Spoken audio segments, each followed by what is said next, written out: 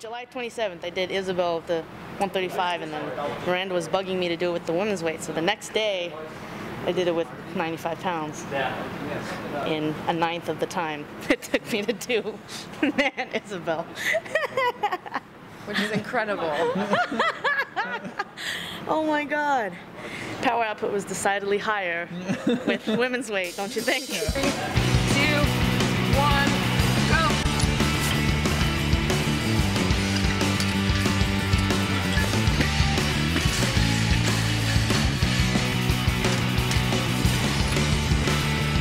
I find that a lot of people, when they snatch, they're pulling everything fine as they come up, but then they're just trying to use their hip power to bring the bar up rather than actually shrugging that through and coming around with the bar, pulling themselves underneath the bar. So I really feel like the shoulder shrug, excuse me, the shoulder shrug is very important when pulling yourself underneath that bar. And when you watch Kris do it, because she has such a pronounced shoulder shrug and it's very violent and active, that um, you can emulate what she does and what I try to do.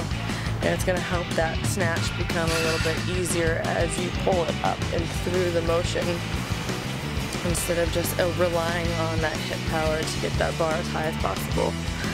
It's going to help bring us up nice, fast, and active.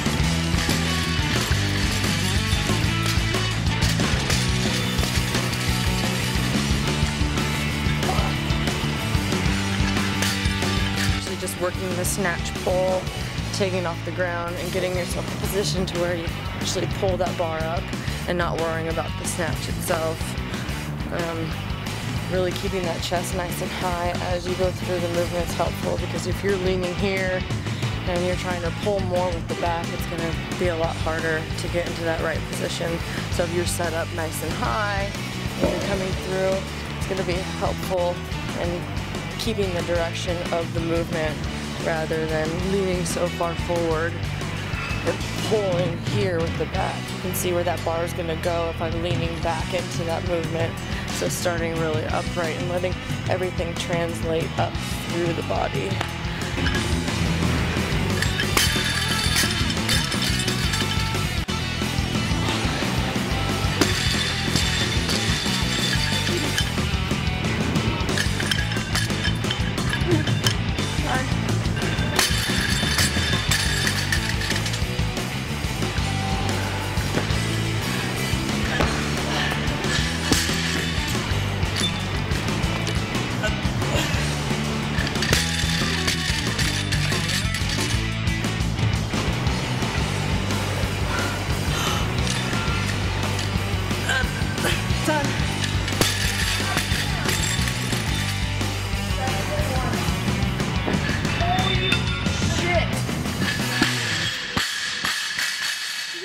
Destroyed her old time.